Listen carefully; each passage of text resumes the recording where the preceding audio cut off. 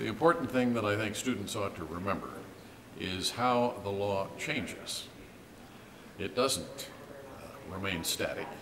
It changes over time and it changes as a result of some of the forces that I'm going to be talking about this afternoon.